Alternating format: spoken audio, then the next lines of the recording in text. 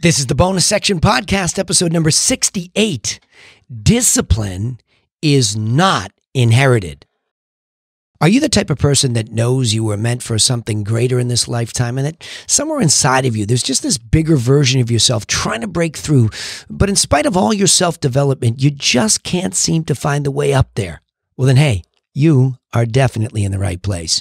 I'm Danny Griffin, the founder of the bonus section and the host of this podcast, and a person just like you trying to learn how to live the most fulfilling life possible.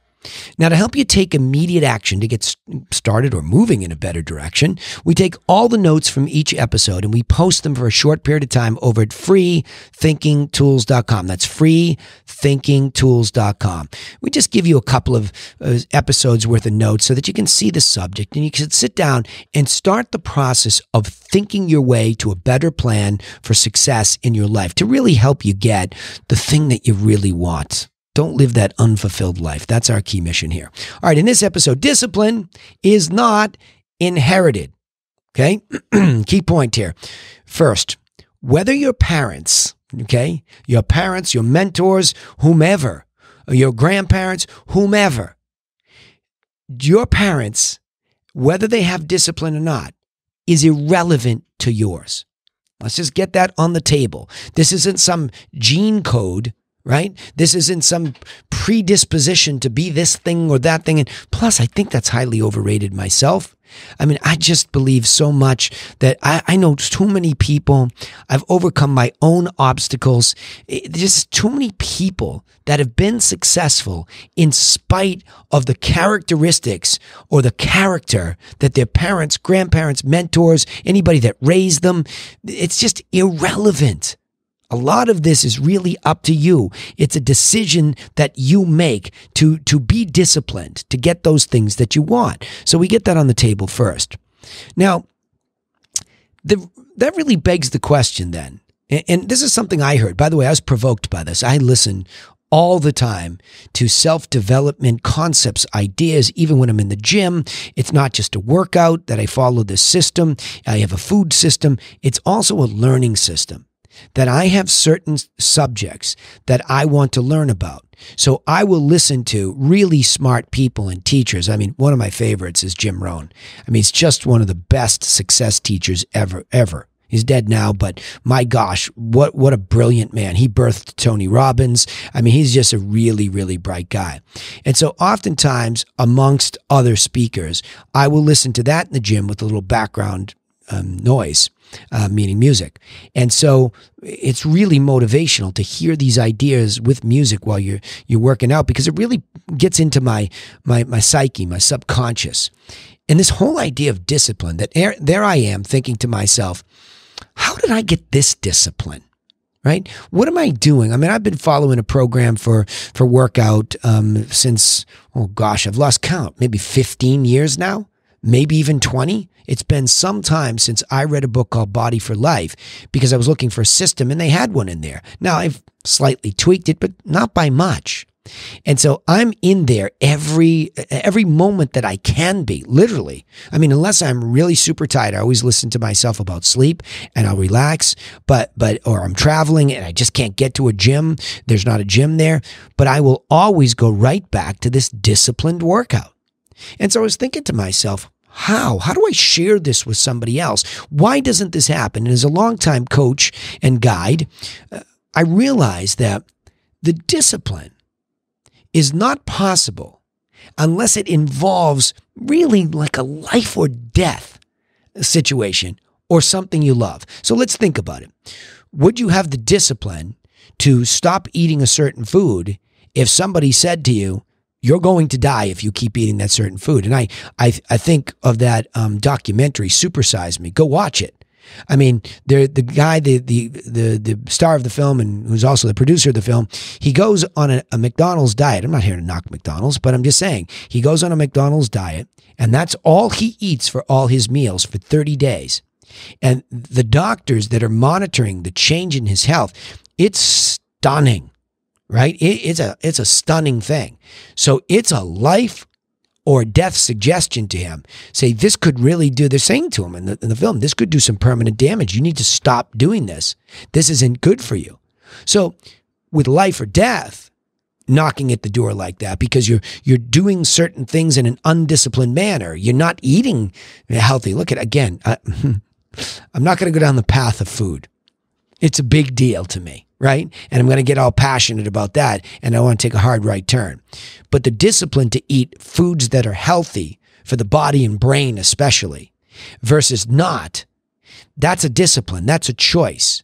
But in this case, it came to the doctors were generally, right, and genuinely scared for this person's life or potential death or just long term damage that could lead to death.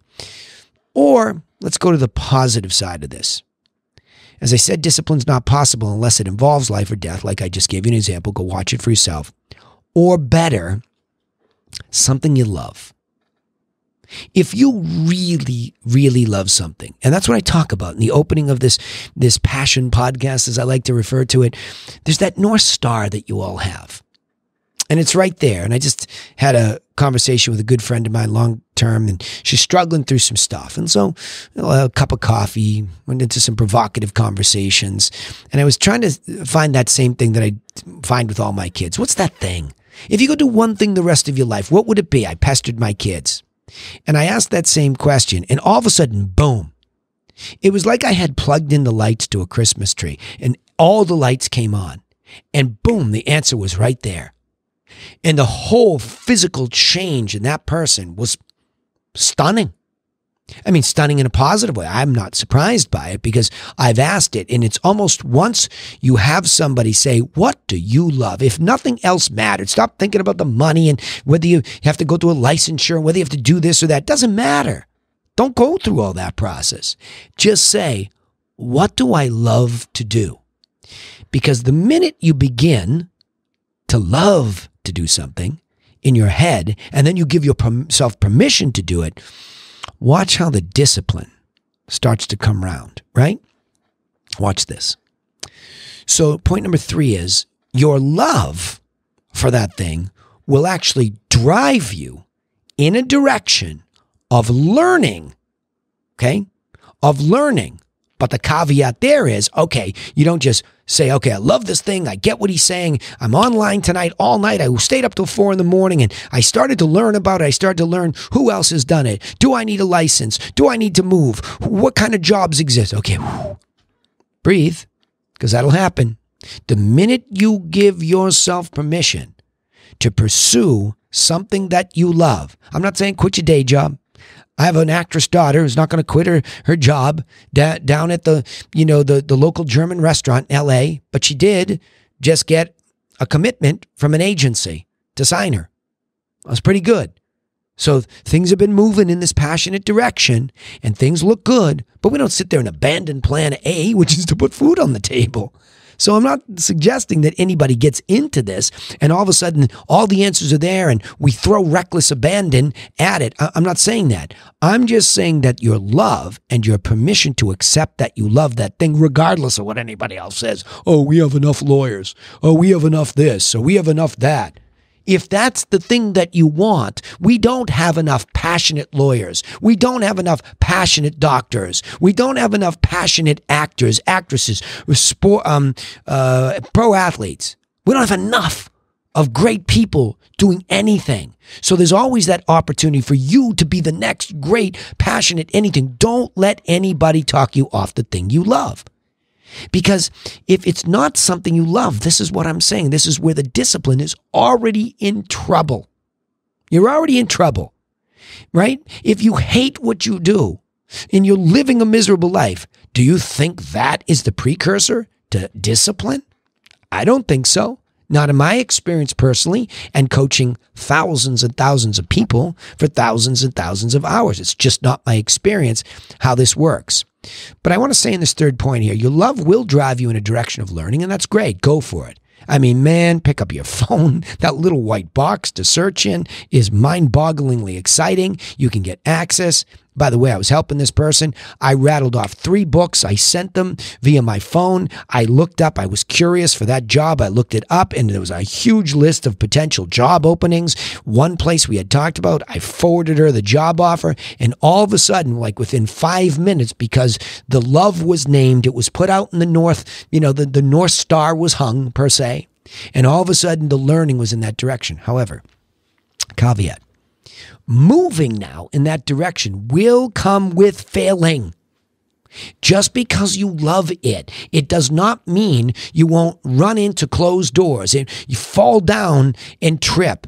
Somebody will talk you off. Worse, you will snap back and say, Oh, this was just a dream. You'll snap back, like Maxwell Maltz talks about in psychocybernetics, mind steering systems.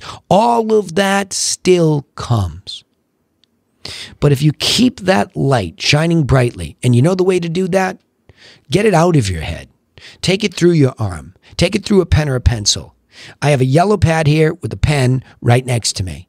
I always am there to catch fireflies. And the biggest firefly is that big North Star, that thing that you love, right? That's the thing. You want to get that out there and you want to put that there and really keep it there. Now, if you've been honest with yourself, it's the one thing that you really love to think about, at least, to study, to toy with. It's a passion, and you like it, and you meant to do it, by the way. It's pre wired way back before you were here. That's my belief. So when you look at that, you keep that up there. But remember, like Maltz also teaches in psychocybernetics, you are now beginning to program the mind steering system to go and get that thing. So I learned that I need this license. I sign up for this course. Unfortunately, it doesn't start till this month. Okay, I don't know. I have a conflict here. You see, the wind is blowing against the, the, the drive. It's us. We're that guided missile moving towards that North Star, that big bright light, that thing that we want. And the discipline that we need to get it is going to be challenged right even in the initial the initial research that you're doing because of all these limitations on your ability to get prepared to do it. So the wind's blowing and like Maltz says, the guided missile, it looks so easy, doesn't it? We hung that thing right there. Well, what's so hard? I'll just learn this A, B, C, D, E, F, G. Unfortunately, by the time you get to A, the wind starts blowing, and all of a sudden, oh, B looks further away. Ah, get over to B. No, I thought that was B. It's not. That's the wrong letter. I went too far. Let me. Be- you get the point. You get blown off course. You fail. And this is the moment where discipline is learned, right? Discipline is learned in that moment. How badly do you want it? Are you ready just because you're failing on the way to get this thing? Are you that willing to talk yourself off of it because the wind blew a little bit and spit in your face? You want to go back where you were? Where you weren't pursuing something you, you loved? And, living an undisciplined life? See, discipline to get what you love is a beautiful lifestyle. I love getting up every morning, getting to the gym. I love eating these foods. I love coaching. I love these things. And they're all organized and disciplined. As I record these podcasts, I have to come into my basement studio in the middle of Saturday, Sunday, wherever, after all of the, the work that I have to do and the kids and everything, and I do it. It's disciplined because I love it. And I know you're out there. I know I can see you somewhere out there. I know you're out there and this is landing with you. You're the one. You're the one. So my love for this stuff is really of service too. So this beautiful bright light is because it's not just me selfishly. If I move in that direction, I can help more people. And I'll guarantee you there's almost in everything, there's something for others in it that by you pursuing it and getting the discipline to go there, if you can understand that that's making someone else happy, it might be family members who have been, like, oh, I wish she would, I wish he would. And all of a sudden you start to do it. I know you're doing it for yourself because you love it and the discipline is getting you, but you don't even know sometimes the positive effect you're having on people watching you. In fact, I have a very dear client, friend, All my clients are friends at this point, right? My coaching clients in the real estate world have a small, intimate group that I can handle at any one point in time, and they're client friends. So I oftentimes get involved much deeper than than their real estate business, and everything's personal. Every everything's human at the end of the day. I don't care how many machine tools and learning we have. There's a human behind it somewhere. And humans have emotions and humans break down and they snap back. So I have one guy who has pulled himself up out of the ashes, right? And as he's doing it, it takes discipline and he has it because the thing that he wants, that place that he wants to be, that person he wants to be, is, he, he loves that. He loves that vision and that version of himself. And then he reached out to me the other day and he said, Hey, do you have a lot of people when they watch your stuff and your postings? Do you have a lot of people reach out to you? And I said, Yeah, I have for years all sorts, you know, parents of kids who said, Hey, this was great. You really affected my kid by putting this up there. Hey, this really meant something to me. Sure. But that's normal for a coach to feel. Why? What's up? And he said, You know, I've been posting my journey and, and people are all over me asking questions. I said, Ah, now you're talking. Now you're talking. By being humble, by pursuing who you want to be and what that looks like, you have magnetically attracted people who say, can you just tell me how to do that for myself? And that's, my friends, the highest calling, the reason for this podcast to be a person for others. Right? So when you're failing to go to that place, it's so much easier to stay disciplined because the alternative is ugly. So, yes, that's a tough spot to get it kick started. But I am telling you, once you really get it started, then it starts to turn into a habit. So the last point here is if you accept trials and tribulations, so if you accept these course corrections as unavoidable, right? Unavoidable, your character will begin to build and discipline will follow. Let me explain that a little bit more. So I remember when I felt things were tough in business. And they're always tough. I mean, as an entrepreneur, it's basically like you're taking a stick and you're rubbing it into something in the ground, hoping a spark starts and a fire starts, and you have to keep doing it, keep doing it. The wind blows it out. You know, there's not enough this, there's not enough that. Everything feels scarce when you're when you're when you're doing your thing. And that doesn't matter whether you're working in a company, trying to climb the ladder, be an entrepreneur, be a professional, whatever. It doesn't matter, right? All this stuff is difficult. So ultimately, I just began to accept and almost started to look for the trials and tribula- tribulations that were coming.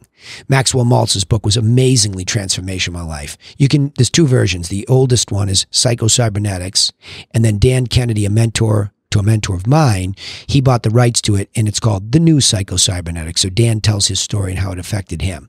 So either one of those versions, because that's where I learned that the wind is going to blow. And I shouldn't take it so personally. I shouldn't feel so credible. Ah, I'm throwing a, my inner baby throws a tantrum and it's not going so easily, right? So once I started to realize, okay, every day I wake up, something's not going to work. What I thought would be isn't going to be. So how do I react? In fact, then I got progressively aggressive in looking for it. I almost went out looking for what was wrong today as a game, as a positive, because I still want to get there. So what's in my way today? What's in my way today? And of course I get blindsided by some surprise, but but I'm not so surprised anymore. Follow me? Because I'm open to this. I recognize something's going to come out of left field per se. Something's going to be a trial and tribulation. And I relish the opportunity to go in there and be a problem solver. And the faster that I can solve them, the better I can get. Well, what that has done is build a stronger character. I am a stronger character. I'm a more humble but stronger character. Not being arrogant or insecure enough to think that everything's going to be easy or that I ever get there. There's always this sense that, well, I've, I've put in a year. I put in six months. I, have had so many coaching clients over the year. Well, you know, yeah, you know, I'm a, I take a break. You know, I, I put in a year and it's not working for me. oh, you fools! A year. To do what? I can't even remember some of the years in my life. It took me so much trial and tribulation to to to become a great father of all these kids I have, and, and then to become this you know entrepreneur who still doesn't feel quite as successful as he wants to be, and he keeps moving there. Well, it's a process. There's no start and finish. It's to the end. Take me to the end. I'm going to play this game to the end. I don't even know what they're talking about. That's character. That's character. But that, that North Star has to stay out there. Now, sometimes the North Star changes, right? Sometimes it might it, it might be being a person for others in a context, and then that context changes, but that core is still important to me, right? So that character builds, and then I'm just disciplined. Because what's interesting about discipline too, as I said to you, and I'll finish this way, I found formulas to be disciplined. So when food became a critical part of my life and I understood its implications for my ability to have the energy to do all these great things, I got very serious about it. And I and I stayed formulaic in it.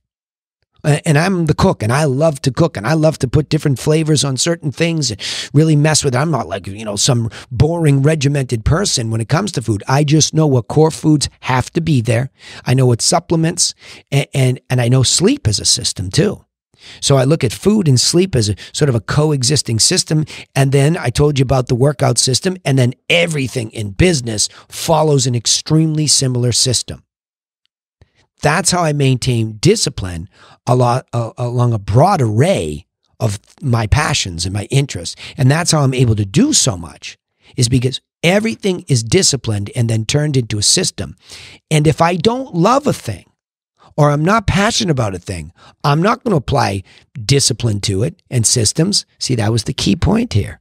You got to love it, or you can't build that character, which leads to that discipline, which can be enhanced by systems. Let me summarize these points here, okay? Discipline's not inherited. The first point was whether your parents have discipline or not, that's just irrelevant. Second point, discipline is not possible unless it involves life or death, right? You can get pretty disciplined quickly if you're in a life or death situation or more importantly and positively, unless it involves something you love. You can really develop discipline when you're pursuing something you love. The third point, your love will drive you in a direction of learning. But that learning still comes with failing, learning and doing, I should say, and it still comes with failing. Fourth, if you accept trials and tribulations as unavoidable, right, forever, then your character will begin to build as you accept that as the human condition, and it will easily birth your discipline. I'll summarize it by saying discipline can feel so elusive. When we can't seem to keep ourselves disciplined and we fail, we often look for something or someone to blame, especially our parents or family. We want to blame them as if they birthed it into us. However, discipline to succeed, especially, is not inherited. So we must instead figure out how to grow our own discipline. I believe this starts with falling in love with something that you really want to achieve almost so badly that it feels similar to a life or death situation. If I don't get this thing, when we do, we then must accept that in spite of that self disciplined effort, we will fail along that way and must accept that, that failure as a never ending part of the journey. That will help us build the character upon which long term discipline will grow. Okay, remember, you can take immediate action to get started in moving in the right direction towards your goals because we take all the notes from each episode and we post them at freethinkingtools.com. Freethinkingtools.com, just the way it sounds. And we give you instant access to a couple of those episodes. You can sit down and start thinking. Also, don't forget you can subscribe to the podcast on iTunes, Spotify, or wherever you listen. And any of our social media channels, just go find the bonus section. We post them there too. And that way you won't miss out on the episodes. We also appreciate it if you join our mission. We said this, I said this earlier today, in becoming people for others. Please try to do it for other people too. And share that content with people just like you so they get the help that they need. But remember this I sign off the same way in the bonus section and all my podcasts, the same way every time. Nobody's coming for you. Nobody. So go get to work on yourself and a better plan for your goals. And we'll see you in the next episode to try and help you do just that. Thanks again.